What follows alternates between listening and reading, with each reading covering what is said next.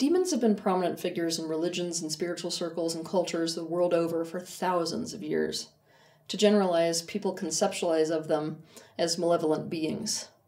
And in contrast to angels or spirit guides, they're thought to negatively influence a person's thoughts and actions, as well as to bring about negative things.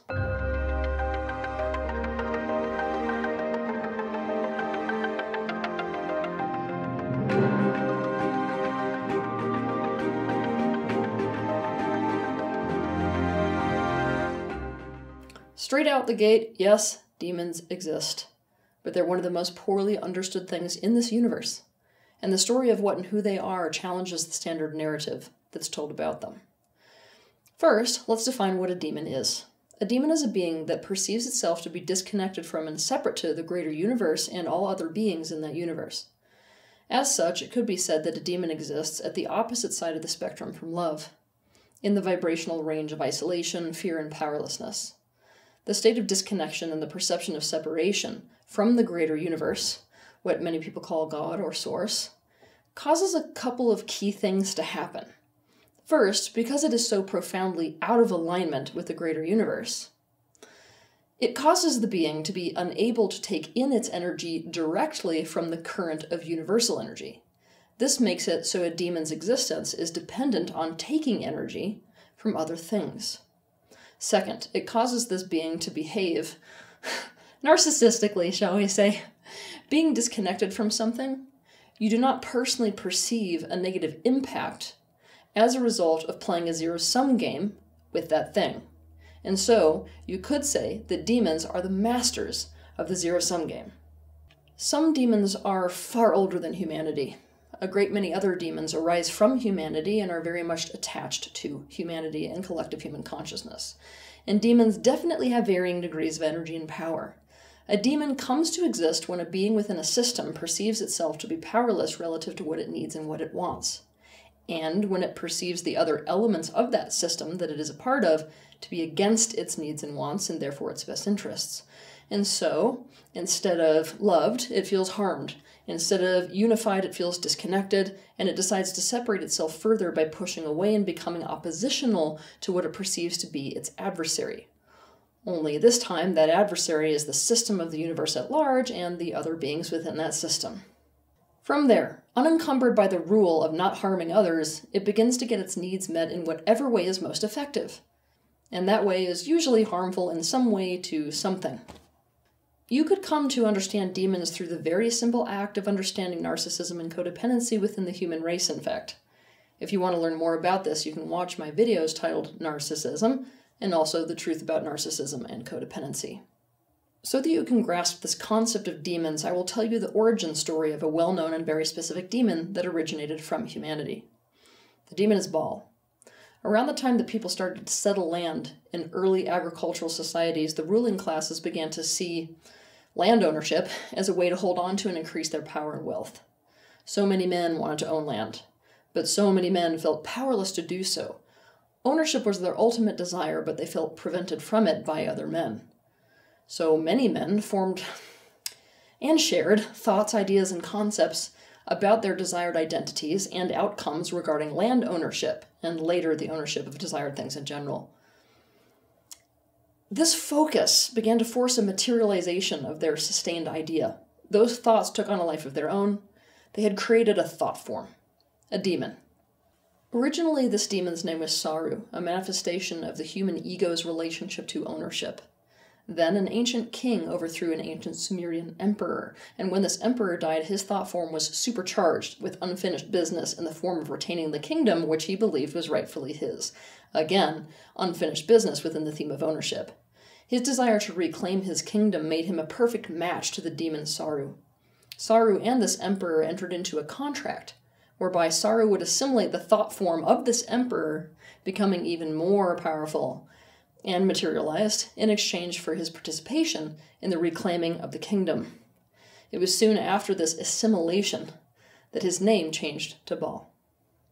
Baal's superpower is ownership, and his desire for ownership is never quelled.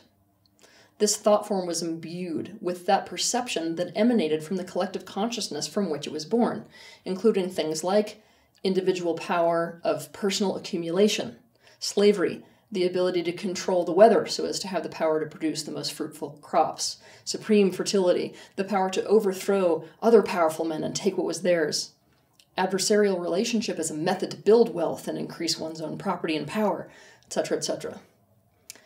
Baal began to form contracts with living people, granting them power to increase their ownership.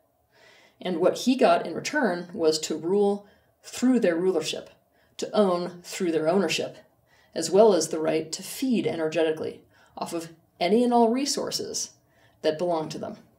Baal was behind the building of Sargon of Akkad's empire and so many empires and dynasties after him. He was also behind the breaking of so many empires when men wished to form their own independent kingdoms. In fact, he was behind the breaking up of many an empire that he himself helped to originally build. Baal is a strong enough thought form that he is often behind the building of empires, but I have seen Baal form contracts, even with children looking to rule over their schoolyards, and members of HOAs looking to control what can and can't happen in their neighborhood, and businessmen who are serious about acquiring other businesses. So, just one example of a contract with Baal might be as follows Imagine that someone feels powerless to owning their own home, and then one of their relatives who owns a home is about to die. Baal may attach to this person's energy field and influence this person with the ability to garner the favor of others. Remember that this thought form has only gained more and more power to garner favor from every person who has interacted with him, many of whom possessed this ability as a kind of innate superpower in their life. And with this contract, this person is now much more effective at using the power of gaining favor to persuade the dying relative to leave their house to them rather than to other members of the family. What makes people a match to Baal is their willingness to play a zero sum game to increase their ownership. And there are a great many ways that a person could increase their sense of ownership that are manipulative and that cause harm. What is important to understand is though human suffering in and of itself can be a motivation for a demon, specifically because human suffering might be a roundabout way of fulfilling a specific need they have, a demon is not looking to cause harm, in fact. They are perfectly fine to get a need met with no harm caused. But they get their reputation from their willingness to cause harm in order to get a need met. It's also important to understand that only some demons are traditionally scary. What I mean by this is one demon, the one that we would call traditionally scary, might be a manifestation of horror. That demon might be the thought form of a person who was horribly abused in a human life, and whom identified power with their abuser and with what their abuser was doing to them. This demon might attach itself to the human biofield of a person who is also in an abusive dynamic, so as to imbue them with a capacity to use horror to intimidate and frighten other people away, thus ensuring their safety, something they feel powerless to get in a direct way.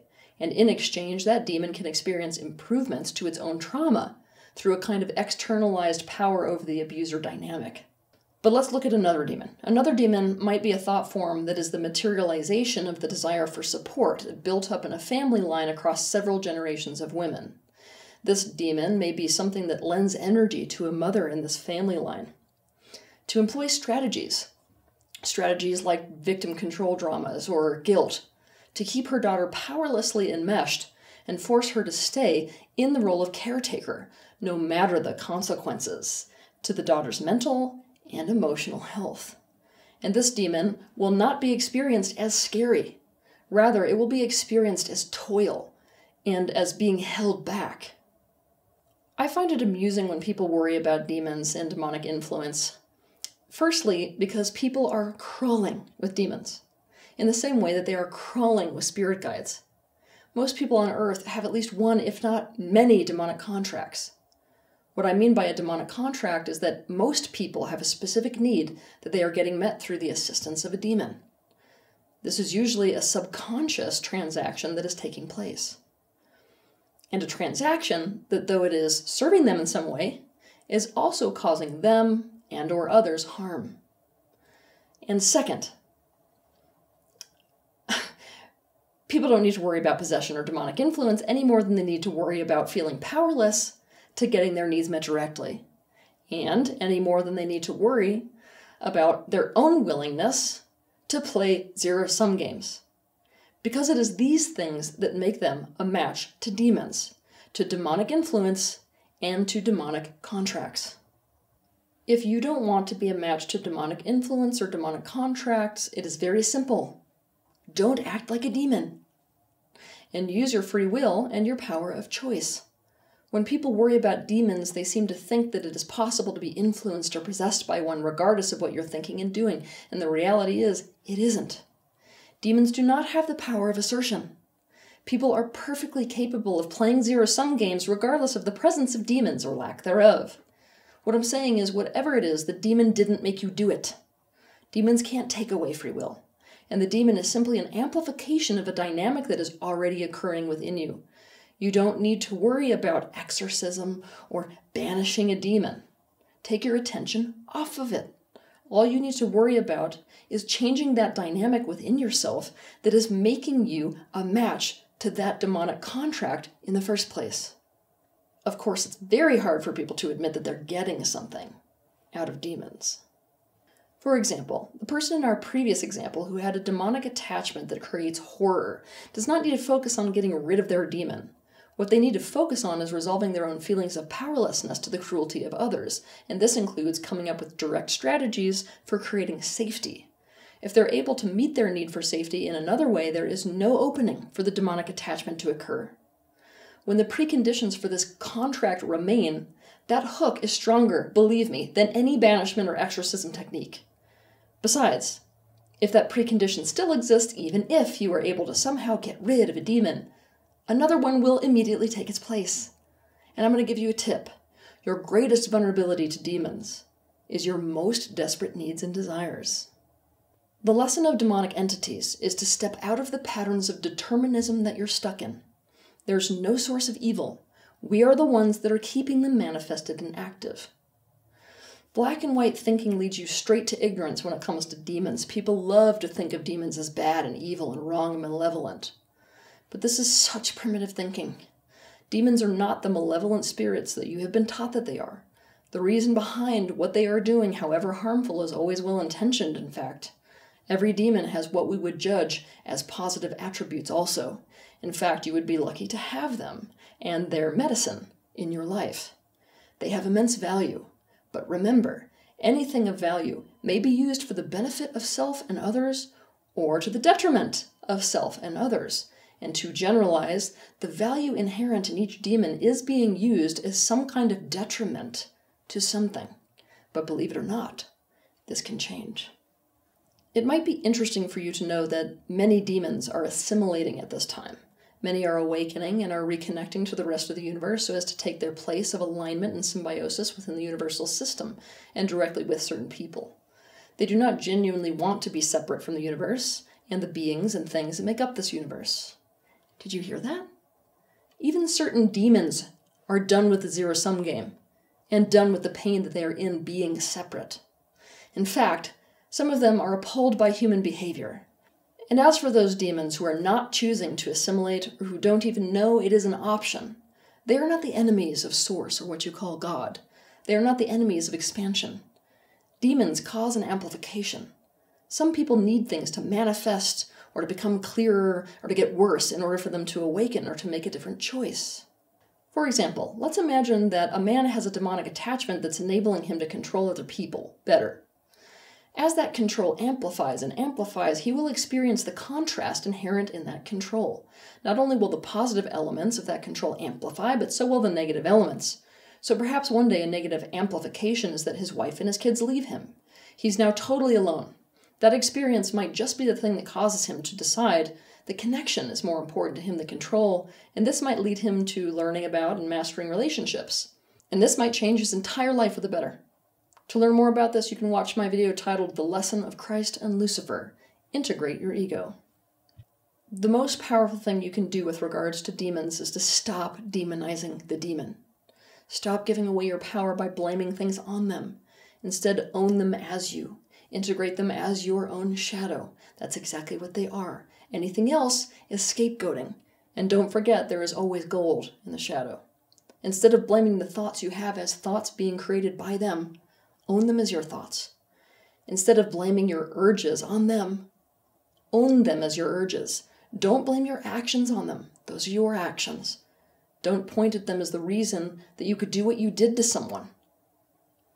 Own your own willingness to harm someone, including yourself, for the sake of getting what you want. Demons are the amplification of people's disconnection and therefore narcissism. You don't need to do anything about demons. You need to do something about your own disconnection and your own patterns of narcissism. Contracts with demons originate from the perception of powerlessness. To not be a match to a demonic contract, you need to meet your needs in a straightforward and a symbiotic way. Have a good week. If you liked this video, be sure to hit the like button, subscribe to my channel, and consider sharing this video with your friends. You can also click on the bell icon to be notified of the next time that I post a video. I want to thank you personally for the bravery that you have to step into awareness. I'll see you in the next video.